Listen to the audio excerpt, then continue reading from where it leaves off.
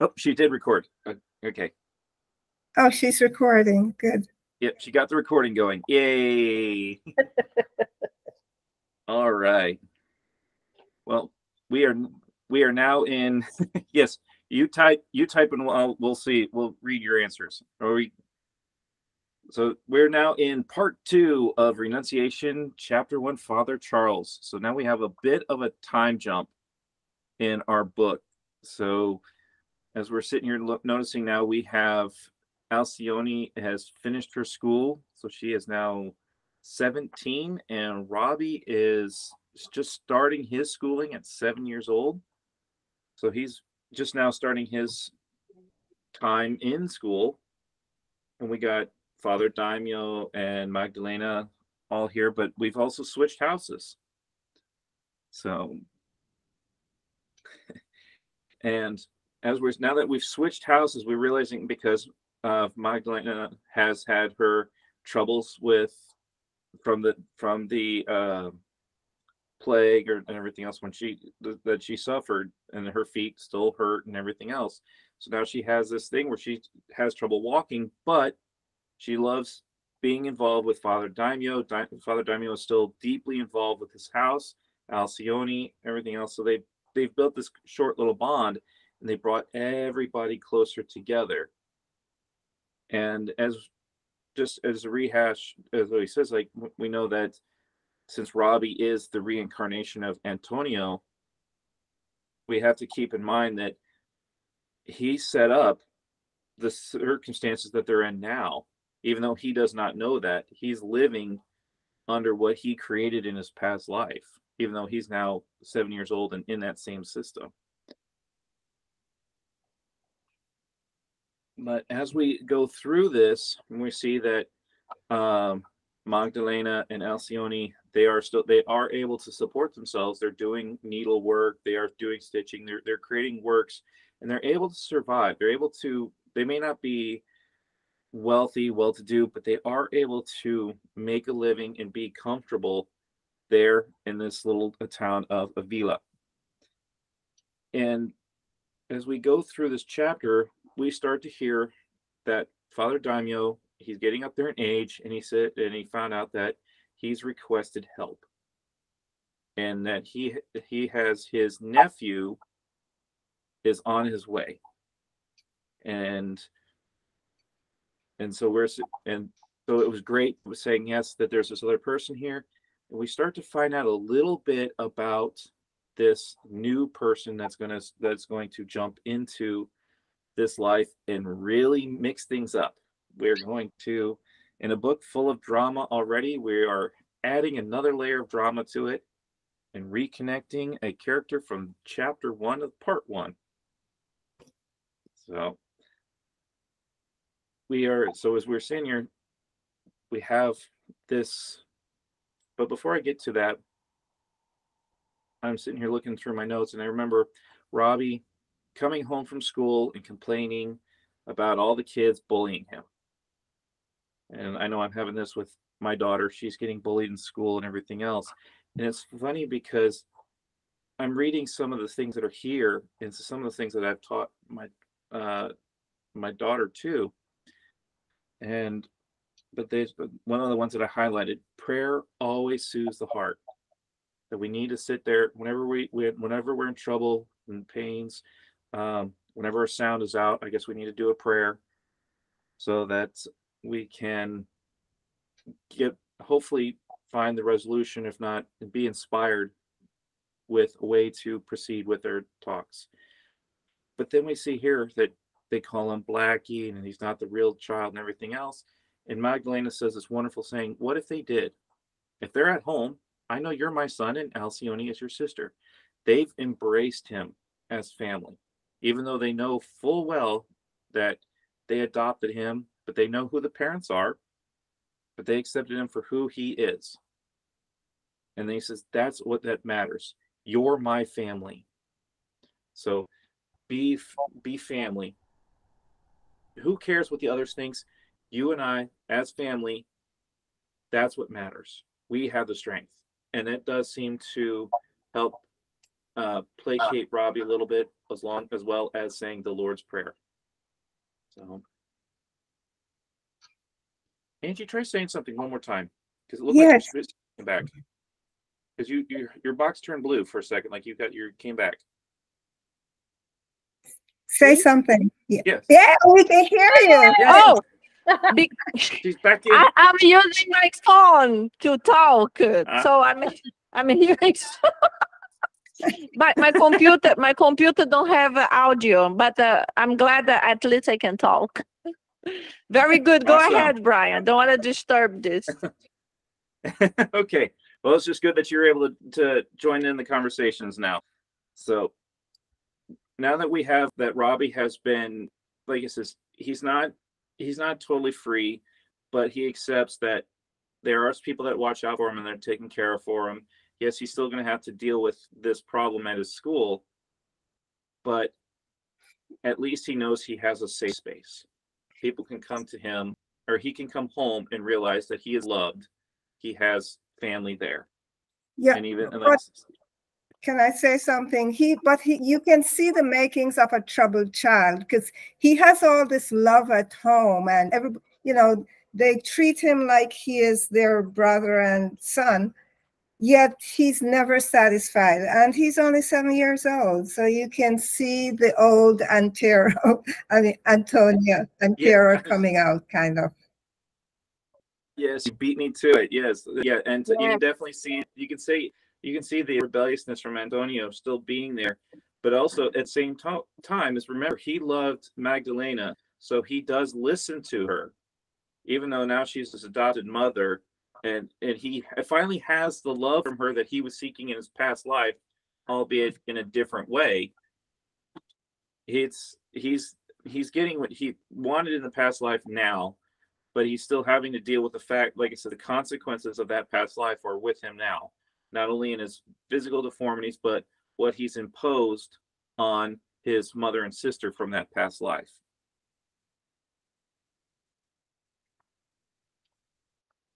And then let's see. And then Yeah, but but uh, now but that have, what happened is that um, he listened to Magdalena because he loves her, but uh, everybody Mhm. else he's rebellious about because that's his personality. You know, was uh, how he was in the previous life, and he carried on a little bit of that. But because of all his constraints, he he is more. Um, how can I say he is saving more? But uh, yes, yes, yes. Go ahead. uh, you just tickled my memory to go down a, a quick little rabbit hole. If for those that are unfamiliar with like the works of André Luiz in those books, it's usually something that's been commented in the past how when a spirit discarnates, there's usually a gap, a period of time that they go through a period where they kind of like prepare for their next reincarnation. They go through a schooling and everything else. And if you notice, this one is very short. Antonio is basically reincarnated almost immediately. Yeah. And so so there is no there is no real adjustment period, no gap. Whereas uh so we have this this quick changeover. Now granted, remember this whole story takes place even before Allan Kardec even is alive to start getting receiving the messages of, for the for all of the codification. But we are we are in that period where we have the, the period of enlightenment is is building up. We see rational thought, we see that we're we're, the, we're seeing the underpinnings that are starting to be what's going to go into place to allow Allan Kardec to create the codification. Well, let's step in out of the book. Now let's get back in the book and sit there with uh, introduction of Char- uh, Charles. Just a, just a moment. What what uh, are you gonna say, Yvonne? Yeah, one more. uh, Yeah, his name is Antero Yes. rather than Antonio. I'm oh sorry. yes. Uh, yes, Just- Antero. Antero. That's all. Okay. yes, since this is being recorded, we need to be precise. Uh, Just because we're recording all kinds of issues, I don't have a sound. I'm like, oh my god. Uh, Sorry, Brian, you were talking about the No, no. introduction of, of the. Yes. nephew. we're So- introducing we're introducing a new character, and um, I- I know they have it introduced here. Uh, Charles Clenaghan. I think I'm saying that right. Because he also because he's got the Irish in him and all this other stuff too. Um, and we bring this person on here, and he is a he's a priest. He's in as part of the system, but then he meets Alcyone. And he's like, that name is very familiar to me. It's as it's very rare, but yet I know that name. And for those who've hit the little note footnote uh, in the book, notices that now we have reintroduced Pollux from the very first chapter of this book. The reason why she wanted to reincarnate. Yes.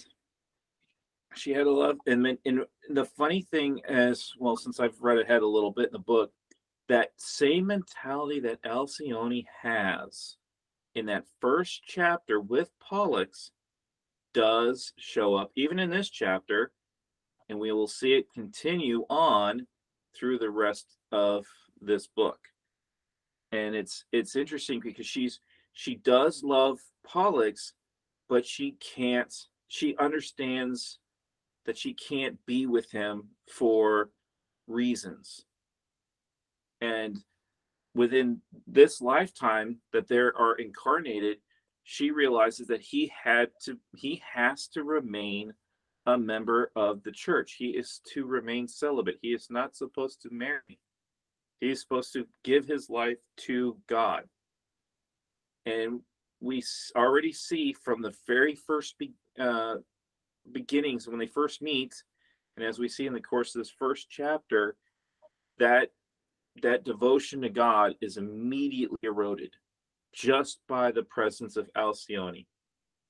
It's like he again just like pollux uh, just as when he was as pollux he loses himself for the love for uh out for his uh, for alcyone. Yvonne. Um, I was, yeah, I was gonna mention that um, Father Charles or Father Clenaghan, that he was forced into priesthood by his mother, right? yes i was just about to get into that I'm sorry, I'm sorry. All right. No, hey, this is a group discussion. So, but yes.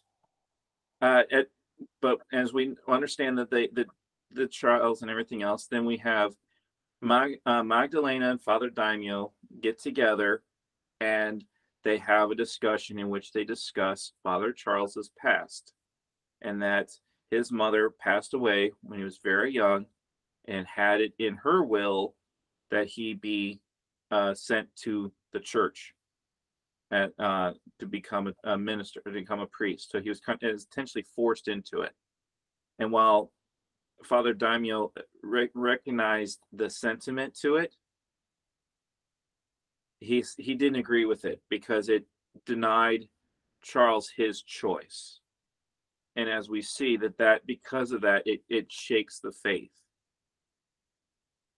And but we also see in here that again we continue to see alcyone how advanced she is as a spirit that well beyond like as we even as we remember from that very first chapter of the book when they, they were talking to him says you don't need to go to earth. You've already outgrown it. And yet she says i'm willing to go back and be a person that helps. And we see that show up time and time again. And here we see it here, not only as her beautiful voice and singing, but also her command of the teachings of Jesus the, and, and how it applies, even to the point where and we as spiritists will start to see the the be, the beginnings of what we understand in the doctrine because she's she's taking it outside of the gospels and saying how this is making it universal. It's and we're starting we see it how she's at- approaching things and how she's attaching these discussions. It's giving everyone a, a new way to thought and this again shows up as we see in later chapters that she her command is so unique that she continues to inspire all these other people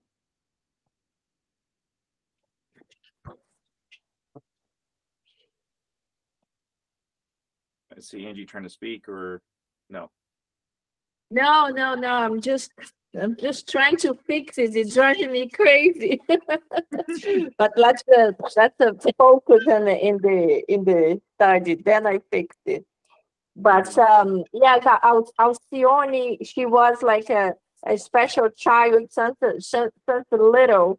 So she is that type of, uh, you know, like a, like nowadays in spiritism, people want to see those kids who are very, very loving and very bright and very caring, advanced for their age. So we understand they are rare. It's not Mhm. like people think it's like, oh, millions, not millions. There are some that are called the crystal children. It's different than the indigo. We know there is a book that uh, Divaldo Franco and uh, Dr. Vanessa Anseloni wrote together, and it's about the indigo and crystal children. And it, it's very small, but very beautiful, and explain about the indigo is millions of children that are reincarnating on Earth. And these indigo children, they are extremely intelligent, extremely intelligent, are really ahead of time but it doesn't mean they are morally educated. They are wild, they are many times rebellious because they have this brain, super, super smart, but it doesn't mean they are so morally evolved. But Alcione is the crystal ones. The crystal ones, they are more rare and they are reincarnated on Earth to push the planet to become better, faster, with their examples. And um, I know Alcione didn't come to Earth to push the planet because she wanted to push her love, you know, her lover to improve. But uh, she is one of those spirits that we call nowadays the, the crystal children. They are so special. Go ahead, Brian. To go with- Um, Mhm. comment. Brian, you, um, you, I had an aha moment because when you mentioned that she didn't, ha- um, Alcyone didn't have to come back because she was already an elevated spirit. And as we went, um, back in time, you know, to Alcione's childhood in that time, that even as a child, she already was, um, displaying characteristics of an elevated being on earth so you jogged you know you made that connection for me because i i wasn't thinking about that first chapter where she didn't have to come back to earth she Right. was only coming back to help um you- um her And You see that, and you're right. You, as you mentioned, the love in your, her heart reached out to the fact that she embraced Robbie back Mm-hmm. as her brother. I mean, she's the one that that set that in place. Not uh, she embraced Robbie as brother and everything else, and and so everyone adopted and, and gained to it because of her love for her younger brother. But yeah, that same book, in uh, the intergeneration the crystal child that they mentioned in that book is Akiane, the the young artist that's living right there in Jupiter, and that I just met last year. And you're right, she that when you get get close to her, she has an aura around her that just serenity it just surrounds her, and it's amazing how much what goes out of your head when you're in her presence. I mean, no politics, no news, no no garbage. It all just gets it just goes away. It's it's amazing that and you get that euphoric feeling.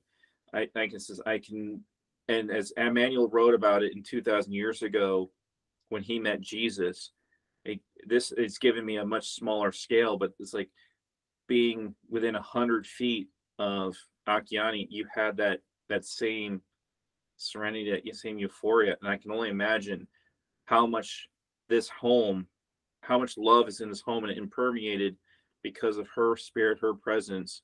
And you can see the warmth that comes into this house. Father Damiano comes in and is inspired and everything else. He's like, wherever Alcione is, she's she improves everyone around her. And she's like Magdalena is able to bear the suffering of lo- losing her husband. Uh, to, and then Robbie, the one that as Antero, uh, reincarnated, embracing him as a brother. It's like you have all of this love, and you're going to see that she even loves she her love for Charles, Father Charles, shows up. She does love him, and he loves her, but she also rem- she still remembers her mission. She for she came in this life and she she remembered uh, that she had to be that she knew that she was the better of the two and that he had to step up he had a challenge he needed to uh, to survive this trial and she was coming to help him and he was struggling mightily but it seems to be that even her presence derails it, it starts to derail it. Even though he, she makes it he's like inspired and, and ha- he keeps learning wonderful things but his passion is overriding what he's there to do. And alcione has to keep reminding him that no you need to stay in this this is your profession stay with it i can love you from afar we can love without being romantically involved I can love you and support you and everything else without the kisses, the hugs, all of that. You need to learn to do the same. And I'm hoping that we'll and and we're hoping to see as these book as the things as the book progresses, we'll see if he does or does not survive in that challenge. So Isn't And- that uh, amazing? Like, uh, like think about the think about us normal human beings. It is so difficult to imagine. You, I, I, I just I just talk about myself. Like, uh, Alcione is so super special because it would be really difficult. We meet someone that we absolutely love, uh, and we would like to be together, and uh, and then uh, the person say no. Now the the situation changed. I can't do that, and uh, we we have to be friends. It's like oh my god, it's devastating. It's like a very very difficult. But uh, this is to to to demonstrate how different that she is, and she is so understanding of it, and uh, just saying I I will love you. I will continue loving you. But like oh my god. and that is brutal. I've been there, been there, done that. My own personal experience. Uh, Angie, you might remember my uh, spiel from the last glamping trip. So when we were doing the, we were we were str- we were strangers together, which so, Yes, yes, I remember painful, painful memories, painful it's things that happen to us that are difficult, but we have to be strong and be able to move on. And mhm. that's not easy, but we have to. Yeah, that's the the book I had to leave. The class I had to leave before I joined this one. We're I was studying plenitude with Peter and Love and Light. We're reading plenitude, and then that book I, I had to leave early just to jump over on this one. So, but I haven't read plenitude, so I'm reading that one too. So, the array of books. But um, So, is there anything else from the, the chapters? Well, I, like I said, I know I kind of pushed through this because I know we I had compressed things a little bit with the with the time that we have because I, I like I said because we do have we do have Charles. He does confess his love, and this is where Alcione pushes back and says, "No, I can't love you. I can't." And like you got to stay with the faith. You've got to be I mean, she gives every reason in the book, well-meaning reasons. Even Father Damiano just jumps in and sitting there and like, she's got a point. It's like, yeah, you may not have liked it, but this is your this is what you're on, and you should stick to it. Use this as an inspiration. And and you see and you see that and then uh, it even sets up for when we go into chapter two, he's sitting there like, you know what? It might be good to put some distance between these two. Alcyone can keep can keep her wits about her, but I'm worried about Charles. And I've been wanting to go to the new world. So let's make arrangements to go over to the new world. Magdalena is sitting there saying, Hey, she wants to see what happened to find out news about what happened to her in-laws that made it over to Connecticut. She wants to go see them and everything else.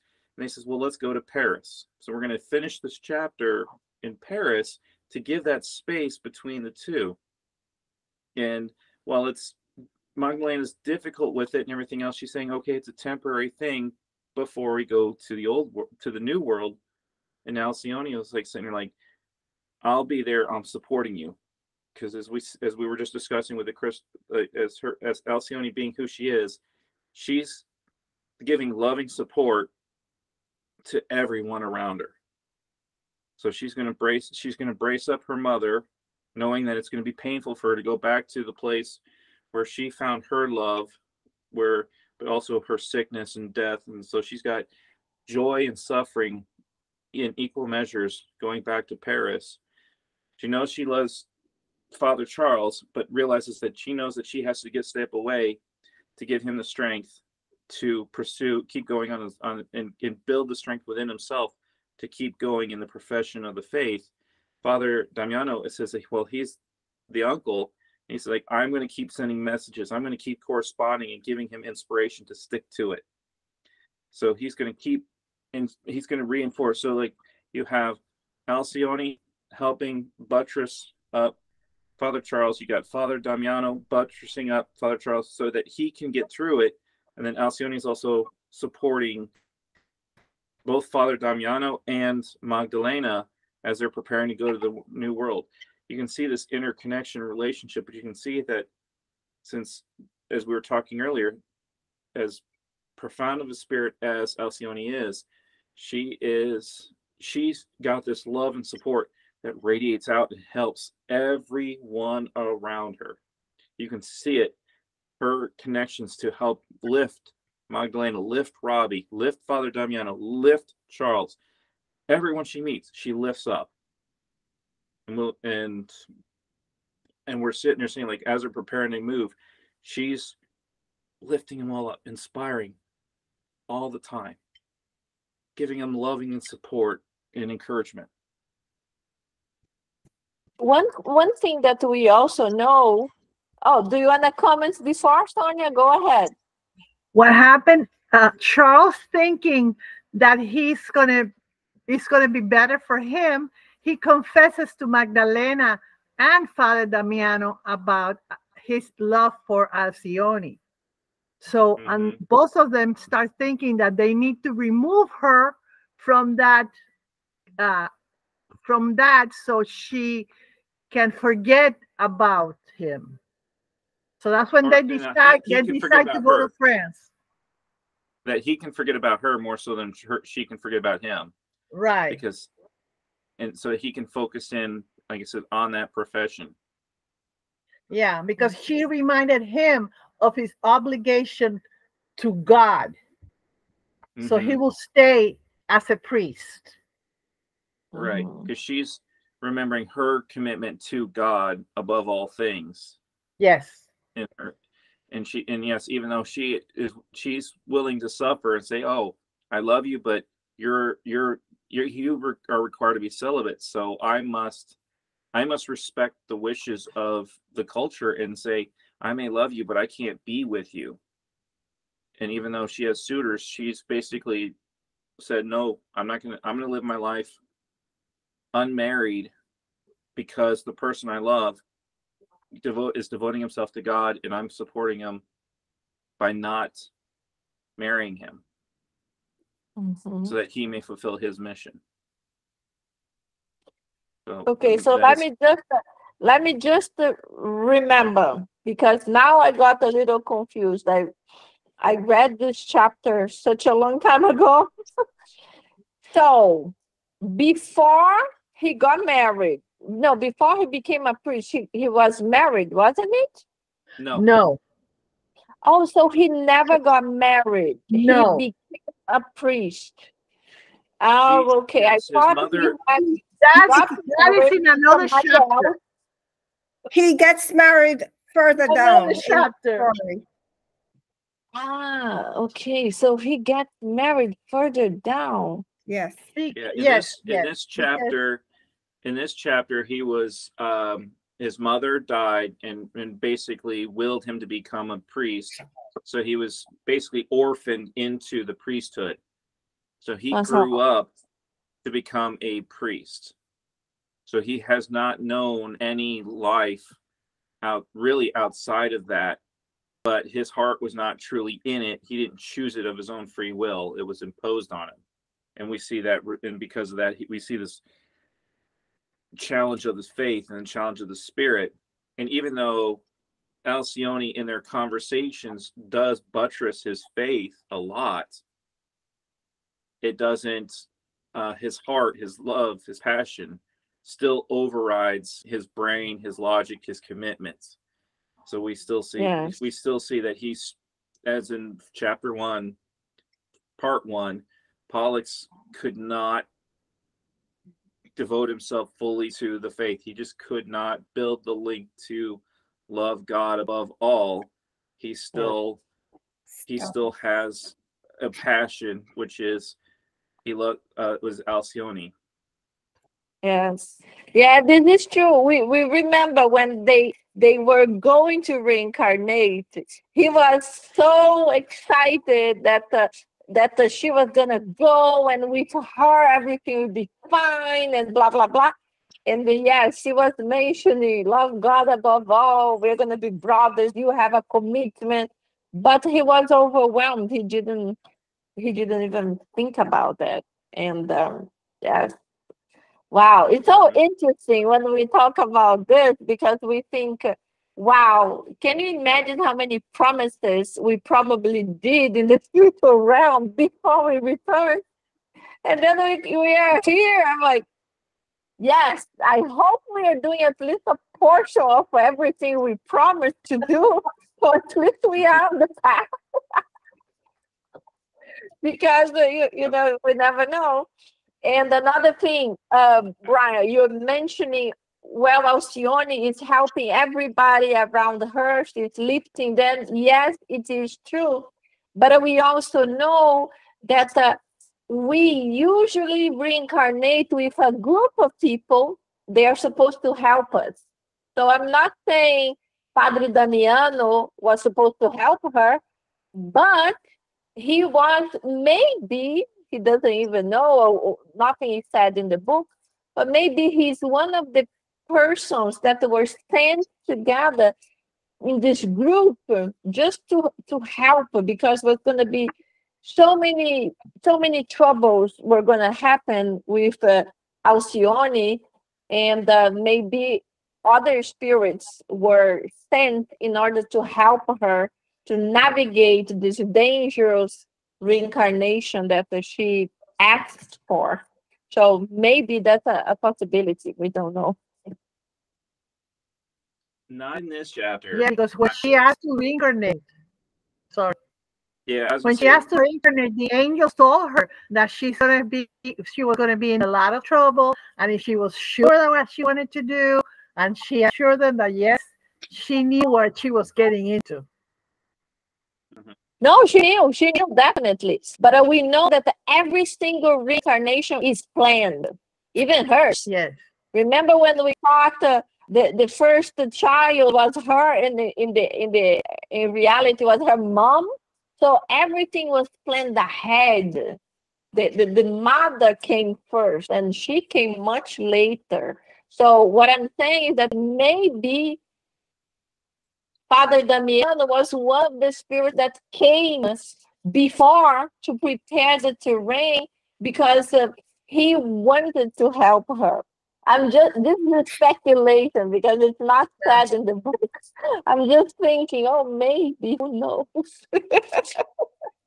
Yeah. I was gonna say it is. It, that was an. int- It's an interesting thought. I, I'm I'm disagreeing only on the matter of Father Damiano was inspired by Alcione. Whenever he brings up questions, Alcione brings it from another perspective that inspires him. He is he is pretty advanced, and he has and he has a, a welcoming command because he does give Magdalena a lot of support, and he is, but he but yet when he when when he meets Alcione, Alcione still surpasses him on the knowledge of the gospels and the and the universal things. So it's like he might be uh as he might have like been brought in to help be a support, but he's not uh the same level as Alcione. We, So- we know that. Manuel himself mentioned in the in the preface of the book that she Mhm. was a light that he had never met before.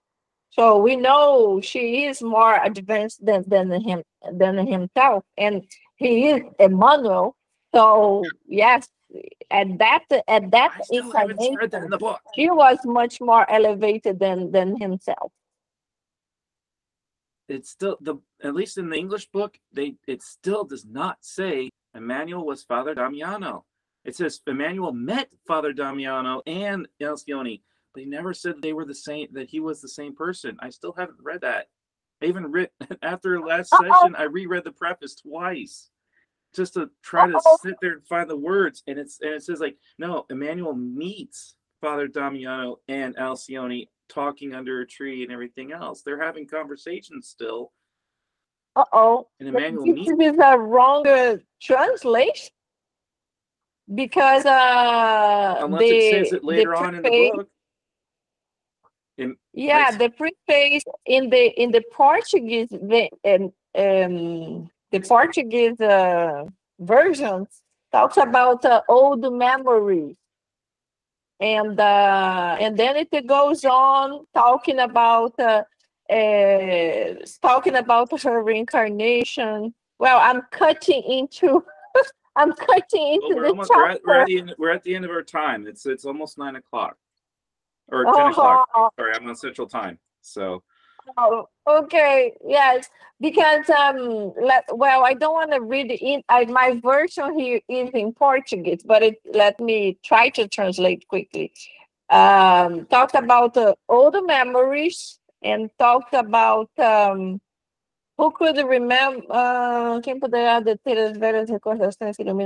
and they talked in a very romantic way of uh, of the old uh, the old memories, and then a text that uh, he remembers Alcione since childhood, and uh, many times uh, she sees the he sees her, and he says, "We priest Damiano," but uh, in the end, that he sees that he says that uh, he is Damiano. Like he talks like I see her. With priest Damiano in the old time in Spain, um, passando ao pôr do sol in the in the sunrise, and it goes on in a very romantic uh, way. And then, um, wow, it's, it's it's too many things to to translate all of this right now.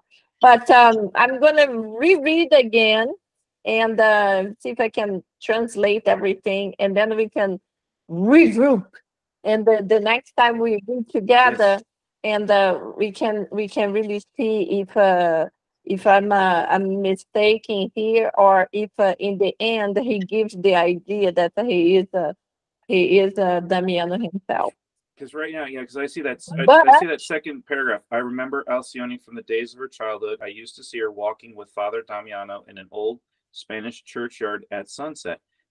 If anything, it could be the other father, the one that's in charge of that Avila uh thing. That might be Emmanuel. Like the one that sends sends when Father Damiano and them leave for Paris Yeah. there's a minister that stays behind in Avila. I'm wondering if that's might be actually a, a um, Emmanuel. Hmm. I'm gonna reread this uh, this portion and then uh and then uh we can go back and, and talk about this because I remember even um who was I remember many years ago, many many years ago, before I read this book, I think it was Eduardo Guimarães who, who said, and uh, Damiano is one of his reincarnations, he said in the book. And then when I read, oh, yes, it's hidden.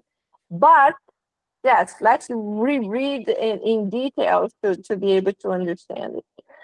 But this is an amazing book. I love this book. It's so powerful, and her her examples move uh, move us.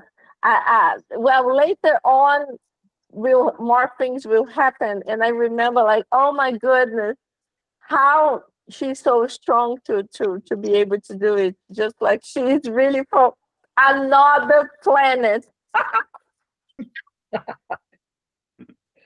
yeah, like I said, I, now that I'm in chapter four, I am seeing some of those wheels and things that are unfolding. Oh, and so like uh and yeah It's- like I, the um, part that i read is just literally where um spoiler alert uh charles does leave leave the faith and chases after them into oh, to france and she and they find him but I haven't got to the point where he i guess marries so oh yes, that's uh that's a interesting one.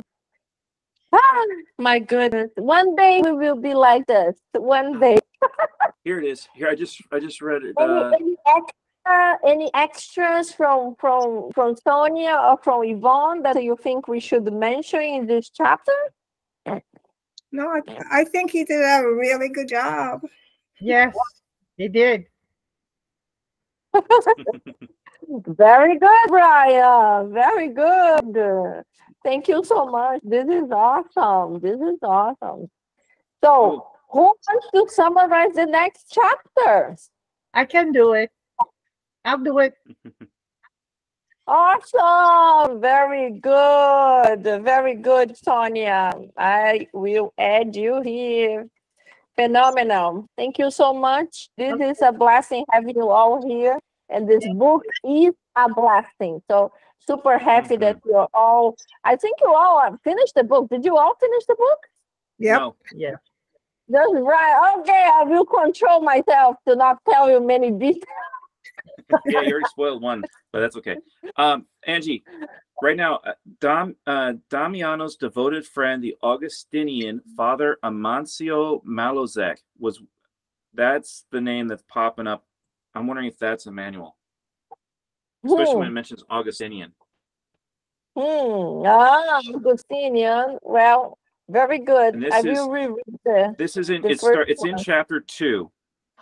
Or it when we get into it, Damiano's friend devoted because he's still in it's it's according to the news sent from he's arranged for a modest house in the Saint Marcel district, Marlena. So I think Emmanuel's the one that helps them set up in Paris. Oh, Especially Okay. when now that- especially when I'm reading that Augustinian, I'm like, that sounds like Emmanuel. Yes, we can we can dig in. I will ask some friends also to help out with with this. Let's see if uh, they, they know more information. But It's- very good. It's a mystery I want solved. Yes. so Yvonne, can you can you do us a final prayer? Sure. Thank you. Okay, let's center ourselves and uh, pray to God, our Maker, to the to the benevolent spirits that were here today. We thank you for your presence. We thank you for this um, interesting conversation about our spiritual life through the story and how we should be cognizant of those that are around us. Um, help us to be charitable to everyone.